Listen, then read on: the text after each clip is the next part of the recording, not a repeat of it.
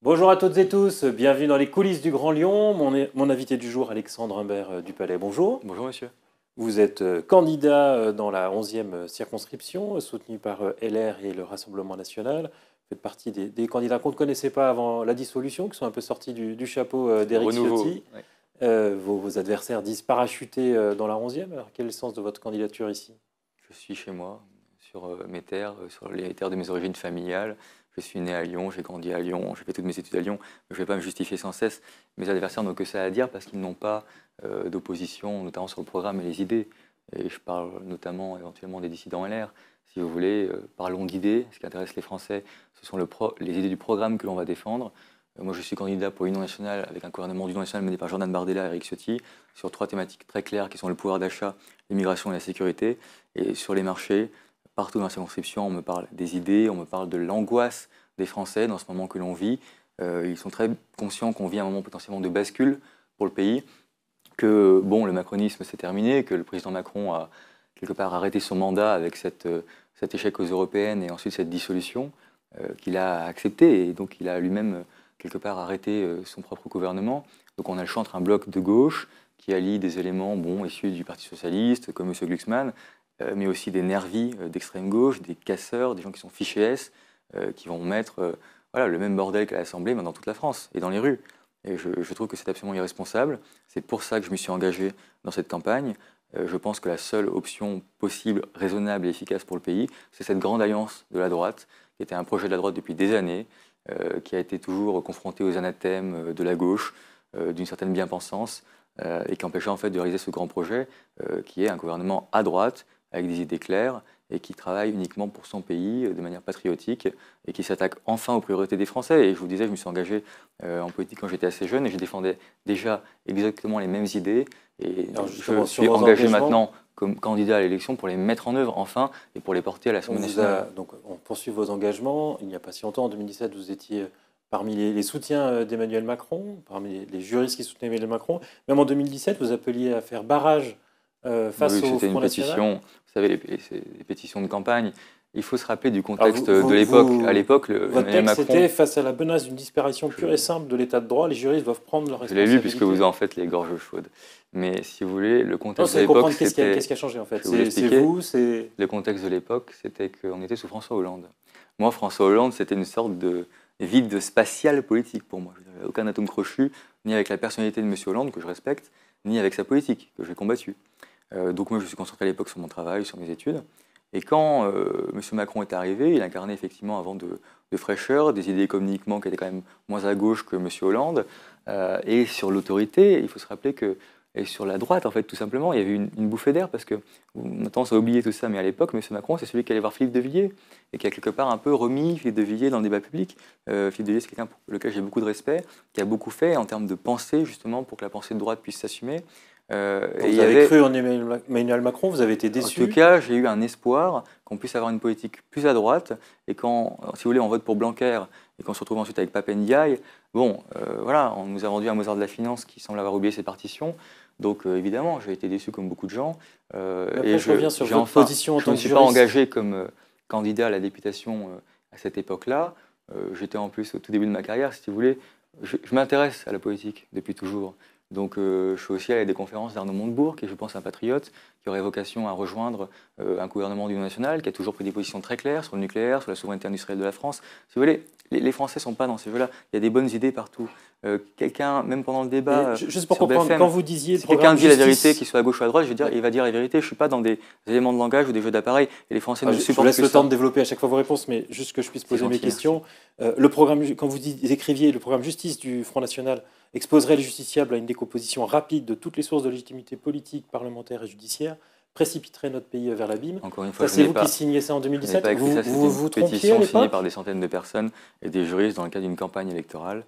Euh, et je pense du coup, vous ne partagez pas ça Vous vous trompiez Cher monsieur, je ne suis pas. Je, suis, je pense que le RN a beaucoup évolué et c'est pour ça qu'on a fait cette alliance entre les Républicains et le RN qui n'était pas possible à l'époque. Et le RN est maintenant un grand parti central qui représente les espoirs de millions de Français, ce qui est confirmé à chaque élection, et qui surtout a fait un travail de sérieux, de responsabilité. Et quand je vois un débat entre M. Bardella, M. Attal et la France Insoumise, eh bien, je vois que le sérieux, la responsabilité, le calme, la sérénité, est du côté de M. Bardella. Et c'était un travail de fond qui a été fait pour que le RN soit capable de porter les attentes des Français. Le RN était un parti qui concentrait les espoirs, qui concentrait la colère. Et maintenant, je pense que les Français ont compris que c'est un parti de gouvernement qui a vocation à gouverner la France, qui a une équipe. Et quand je voyais l'équipe avec M. Leggeri, euh, qui était derrière euh, M. Bardella pendant le débat, euh, moi j'avais envie que ces gens soient au gouvernement avec Eric Ciotti, et j'avais plus confiance dans ces personnalités-là, qui me semblent compétentes, déterminées, sérieuses, plutôt qu'avec les personnalités qui étaient derrière M. Bompard ou, derrière M. Attal même. Je, pense que le sérieux désormais, il est au Rassemblement national avec les Républicains. Et vous savez, c'est une alliance euh, de gouvernement, ce n'est pas une fusion-absorption. Donc moi, je ne dis pas que je suis militant RN depuis euh, que j'ai 12 ans, je suis un militant des Républicains. Et nous faisons une alliance de gouvernement, puisque le président Ciotti a fait ce choix clair, qui correspondait aux attentes de la base militante depuis des années, depuis des dizaines d'années. Et les retours du terrain sont très clairs là-dessus. Et même les sondages ont été très clairs. Il y a quand même un candidat, une candidate LR. Oui, c'est la candidate des chapeaux à plumes, comme qui, dit. Qui est soutenue par, oui, par le maire de Mornan dans votre circonscription. Oui, mais je, je pense que c'est très, oui, très important. mais est-ce que c'est la hauteur des débats pour la nation? Les questions locales, comme ça.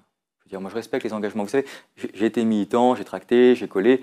C'est indispensable. Mais ensuite, on rentre chez soi, puis on peut décrocher, on peut regarder Netflix ou quelque chose. Quand on est candidat sur son nom, que les gens vous regardent dans les yeux en vous confiant leurs espoirs, leurs peurs, leurs attentes, vous prenez charge d'âme chaque jour. Ça vous porte, mais c'est une, responsabilité énorme. Donc moi, j'ai beaucoup de respect pour tous les gens qui s'engagent aux politiques, que ce soit Mme Ferraud, que ce soit euh, M. Pfeffer, que ce soit mes adversaires, de tous les partis. Mais ce n'est pas la question. La question, c'est qu'on a le choix entre un bloc de gauche, avec des éléments extrémistes, dangereux pour le pays, qui vont mettre le pays en faillite, qui vont mettre l'anarchie dans les rues, et un bloc de droite que je représente, avec Jordan Bardella et Eric Ciotti. Il n'y a pas d'autre option pour le pays. M. Pfeffer ne va pas former un gouvernement d'union nationale. Je ne le crois pas. Madame, euh, Cindy non plus.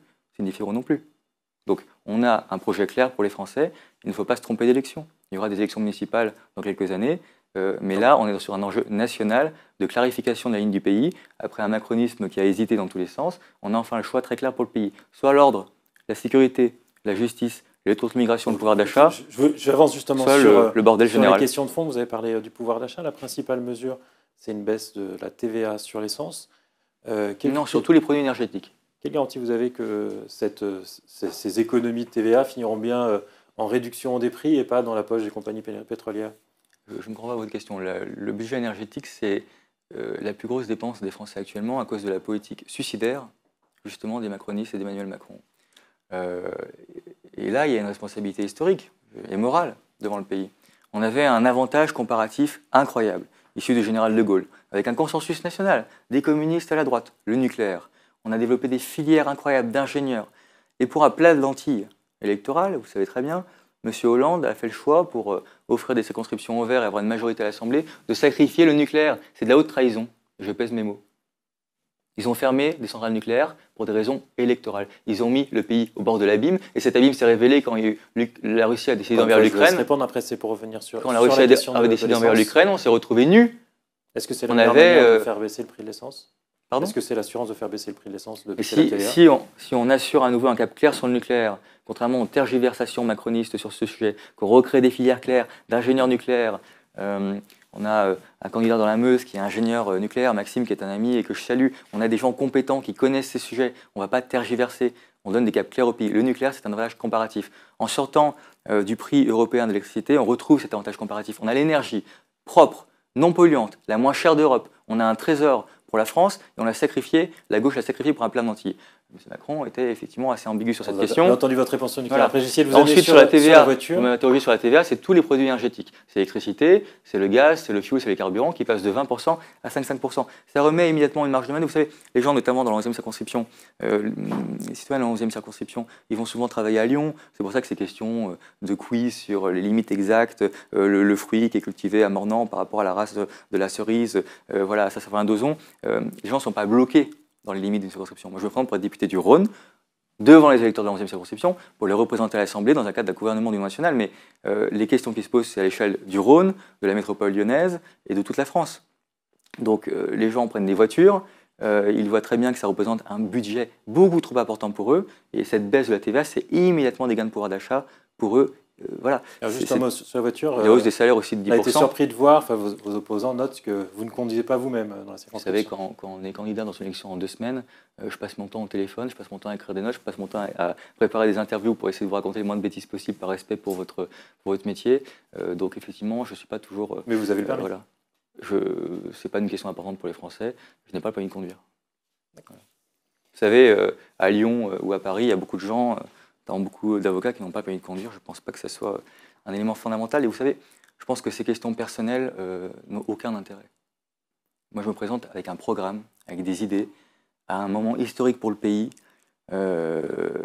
toutes ces questions un peu voilà, de, tambouille politicienne ou de personnel, moi, je suis entièrement dévoué dans ma candidature. Je serai entièrement dévoué pour les électeurs de la circonscription, pour les représenter à l'Assemblée nationale. C'est un engagement à 100%. Donc si vous voulez, toutes, ces questions me semblent bien dérisoires face aux enjeux pour le pays, face à mon engagement. Moi, effectivement, voilà, je, m'installe à mon compte, je suis avocat. J'ai tout arrêté pour cet engagement parce que je pense qu'on est à la croisée des chemins et que le pays a besoin de cet engagement. Moi, j'avais euh, la France chevillée au corps depuis toujours, j'ai toujours été passionné par la politique, et là, j'ai considéré que c'était le moment de servir vraiment, enfin, les Français, euh, d'empêcher ce pays de tomber dans la ruine, d'empêcher la bordisation générale du pays et d'assurer un cap clair en, défendant des idées que je défends depuis toujours sur la sécurité, le pouvoir d'achat et l'immigration. Et ce que je veux dire, pardon, j'ai la gorge un peu sèche, euh, c'est que moi je lance un appel à la responsabilité de chacun. Il ne faut pas se tromper d'élection. Vous l'avez dit, on a largement dépassé. mon respect, un appel à la responsabilité, à la mobilisation face aux dangers de l'extrême gauche qui menace vraiment notre pays. Ne vous trompez pas d'élection et votez pour un gouvernement d'union nationale sérieux, euh, avec un engagement à 100% de ma personne pour les électeurs de la 11e circonscription de Rhône à l'Assemblée nationale. Humbert Dupalais, je vous remercie. Je vous remercie. Et puis moi, je vous dis à demain pour une nouvelle émission des coulisses du Grand Lyon.